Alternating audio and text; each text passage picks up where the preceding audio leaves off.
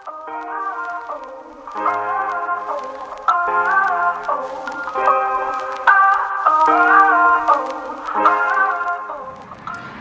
YouTube, so I'm here in Vancouver, BC, actually Burnaby, BC, and um, it's a great day today.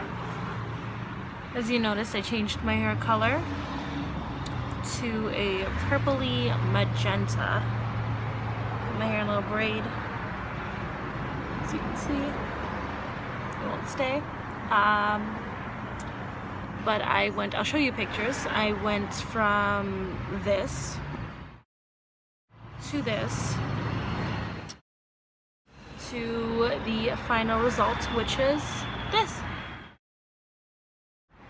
It's been fading. Uh, how long has it been? It's been about a week, um, and it's been wearing off of my skin. My hands are getting dyed whenever I do braids or brush it. Uh, let me give you a note. If you're gonna lighten it, Olaplex get something to protect it. I'm still doing masks. I've been doing masks when I had the blue hair. Um, it's just your hair goes through so much chemical abuse. So it's really, really good to just, yeah, masks. A lot of protein. Um, and when you brush it, brush it really, like, just be gentle with your hair. Um, I changed the color to this one within like a week because the last color, the one in between, the one looks more pinky. Um, it's too much pink. The top pieces were like orangey pink and they weren't pleasing to my eye. I think I'm also used to uh, darker colors, which is what you see here.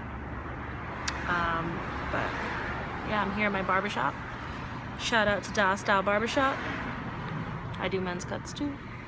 Um, but yeah, so keep in touch with the future retouch videos.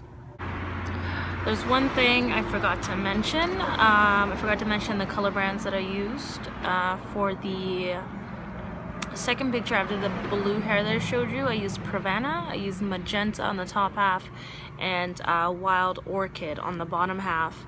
Um, and the consistency of the color was not consistent. Um, my hair uh, just had different porosities and it was absorbing differently.